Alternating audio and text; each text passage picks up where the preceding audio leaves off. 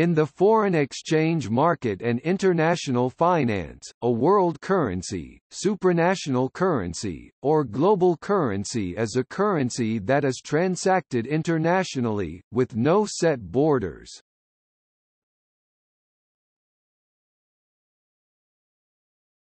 Topic: Historical and current world.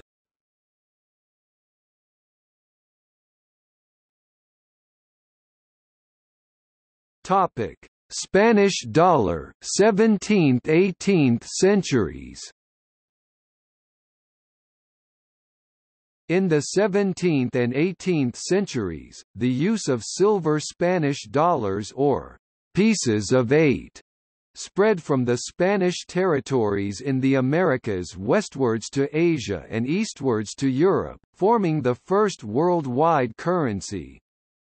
Spain's political supremacy on the world stage, the importance of Spanish commercial routes across the Atlantic and the Pacific, and the coin's quality and purity of silver helped it become internationally accepted for over two centuries. It was legal tender in Spain's Pacific territories of the Philippines, Micronesia, Guam and the Caroline Islands and later in China and other Southeast Asian countries until the mid-19th century. In the Americas it was legal tender in all of South and Central America except Brazil and in the US and Canada until the mid-19th century. In Europe the Spanish dollar was legal tender in the Iberian Peninsula, in most of Italy including, Milan, the Kingdom of Naples, Sicily, Sardinia, the Franche-Comté France, and in the Spanish Netherlands. It was also used in other European states including the Austrian Habsburg territories.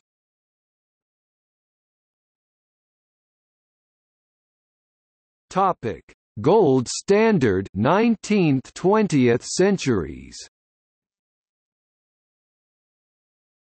Prior to and during most of the 19th century, international trade was denominated in terms of currencies that represented weights of gold. Most national currencies at the time were in essence merely different ways of measuring gold weights much as the yard and the meter both measure length and are related by a constant conversion factor. Hence some assert that gold was the world's first global currency. The emerging collapse of the international gold standard around the time of World War I had significant implications for global trade.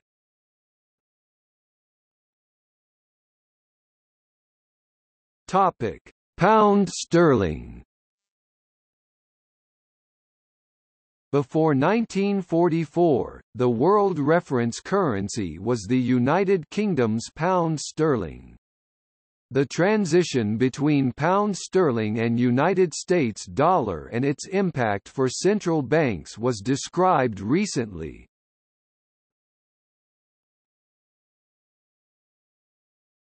Topic: US dollar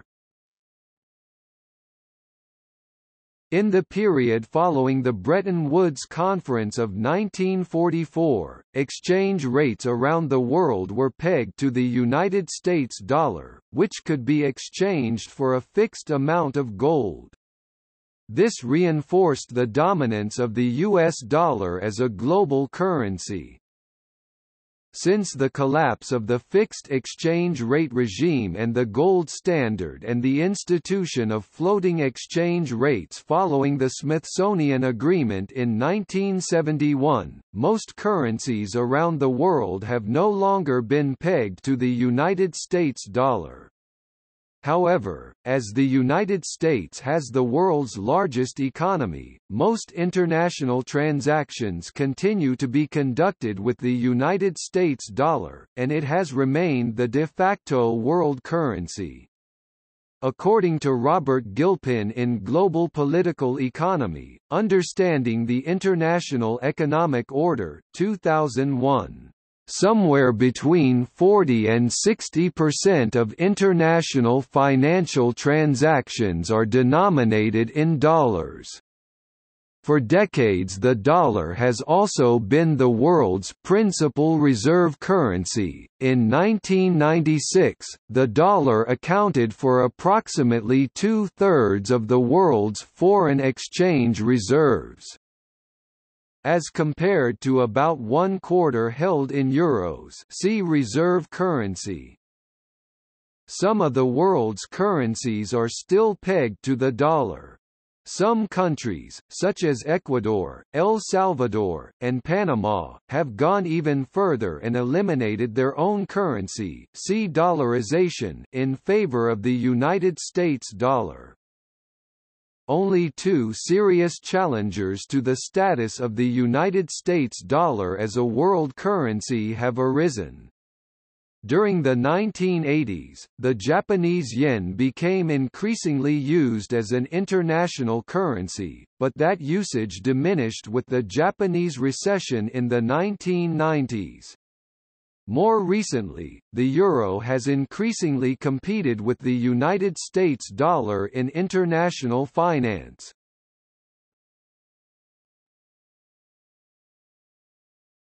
Topic: Euro The euro inherited its status as a major reserve currency from the German mark DM and its contribution to official reserves has increased as banks seek to diversify their reserves and trade in the eurozone expands. As with the dollar, some of the world's currencies are pegged against the euro. They are usually Eastern European currencies like the Bulgarian lev, plus several West African currencies like the Cape Verdean escudo and the CFA franc. Other European countries, while not being EU members, have adopted the euro due to currency unions with member states, or by unilaterally superseding their own currencies. Andorra, Monaco, Kosovo, Montenegro, San Marino, and Vatican City. As of December 2006, the euro surpassed the dollar in the combined value of cash in circulation. The value of euro notes in circulation has risen to more than 610 billion euros, equivalent to $800 billion at the exchange rates at the time. A 2016 report by the World Trade Organization shows that the world's energy, food and services trade are made 60% with US dollar and 40% by euro.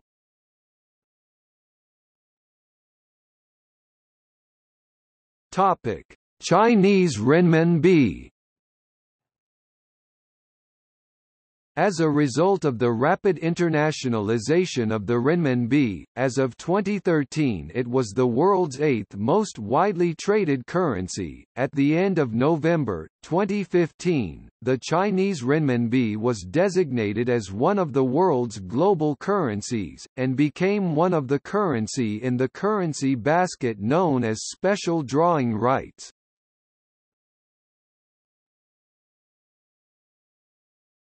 Topic: Recent proposals 21st century.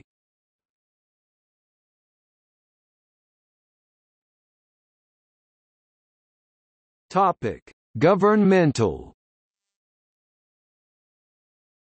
On 16 March 2009, in connection with the April 2009 G20 summit, the Kremlin called for a supranational reserve currency as part of a reform of the global financial system. In a document containing proposals for the G20 meeting, it suggested that the International Monetary Fund (IMF) or an ad hoc working group of G20 should be instructed to carry out specific studies to review the following options: enlargement diversification of the list of currencies used as reserve ones, based on agreed measures to promote the development of major regional financial centers. In this context, we should consider possible establishment of specific regional mechanisms which would contribute to reducing volatility of exchange rates of such reserve currencies. Introduction of a supranational reserve currency to be issued by international financial institutions. It seems appropriate to consider the role of IMF in this process and to review the feasibility of and the need for measures to ensure the recognition of SDRs as a supra-reserve currency by the whole world community. On 24 March 2009, Zhou Xiaochuan, president of the People's Bank of China, called for creative reform of the existing international monetary system towards an international reserve currency, believing it would significantly reduce the risks of a future crisis and enhance crisis management capability. Zhou suggested that the IMF's special drawing rights a currency basket comprising dollars, euros, renminbi, yen, and sterling could serve as a super-sovereign reserve currency, not easily influenced by the policies of individual countries. U.S. President Obama, however, rejected the suggestion stating that the dollar is extraordinarily strong right now.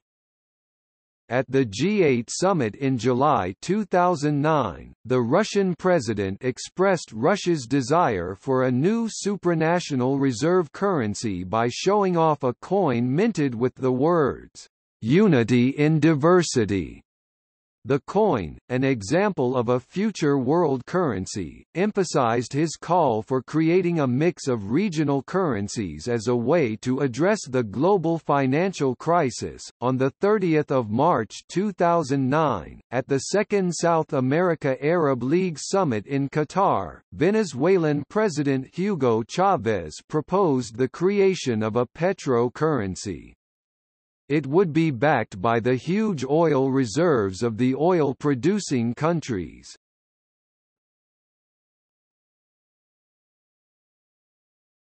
Topic: Single world currency.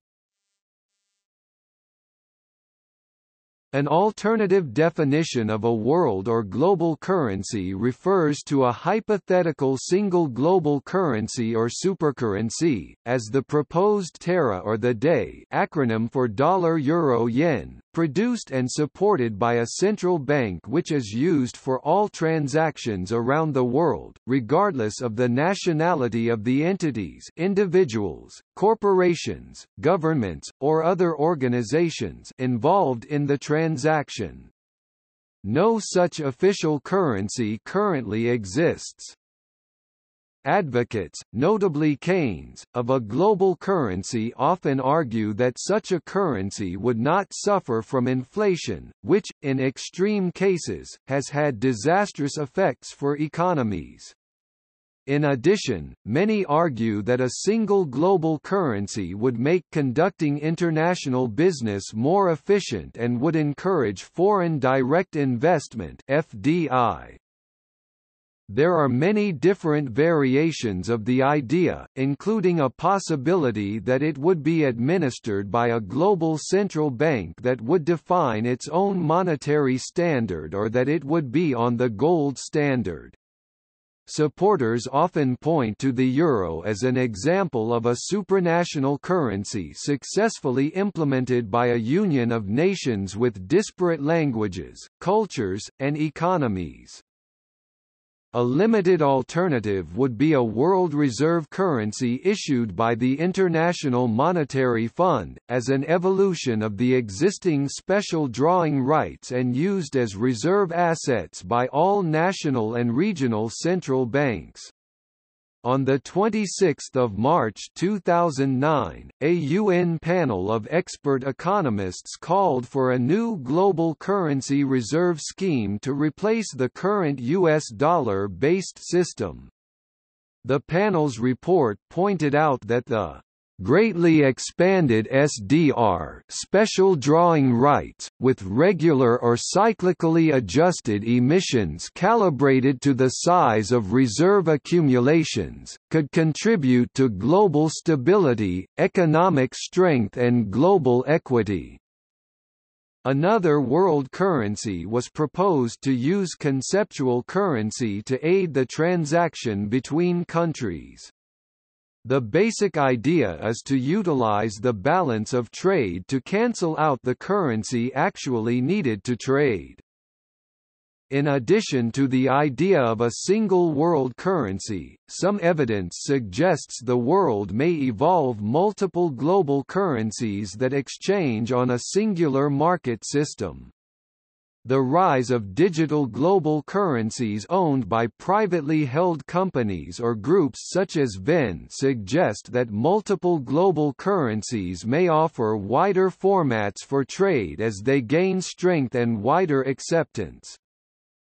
Blockchain offers the possibility that a decentralized system that works with little human intervention could eliminate squabbling over who would administer the world central bank. Bitcoin is so far the closest candidate for a world decentralized currency.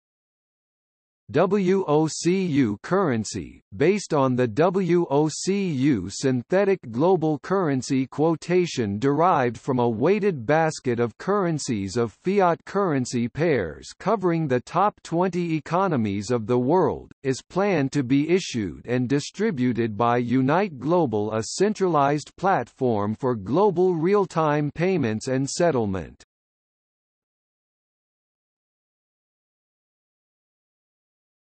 Topic: Difficulties.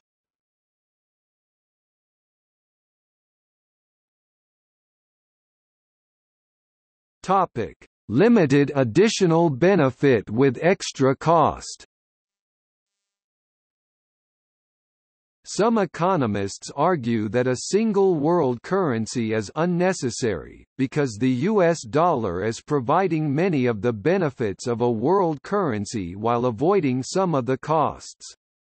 If the world does not form an optimum currency area, then it would be economically inefficient for the world to share one currency.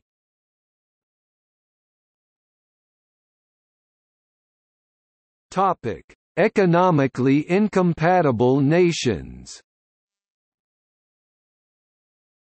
In the present world, nations are not able to work together closely enough to be able to produce and support a common currency. There has to be a high level of trust between different countries before a true world currency could be created. A world currency might even undermine national sovereignty of smaller states.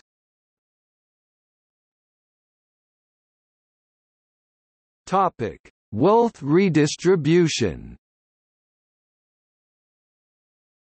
The interest rate set by the central bank indirectly determines the interest rate customers must pay on their bank loans. This interest rate affects the rate of interest among individuals, investments, and countries. Lending to the poor involves more risk than lending to the rich. As a result of the larger differences in wealth in different areas of the world, a central bank's ability to set interest rate to make the area prosper will be increasingly compromised, since it places wealthiest regions in conflict with the poorest regions in debt.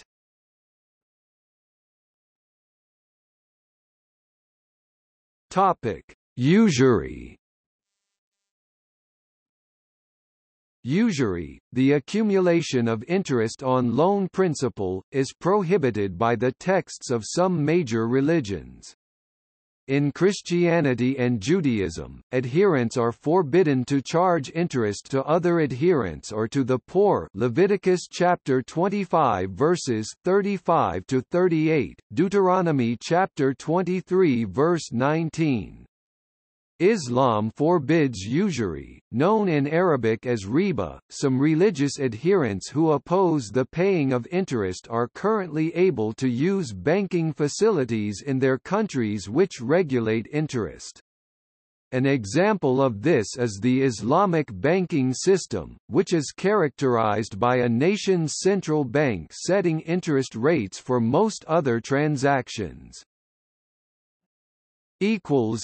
See also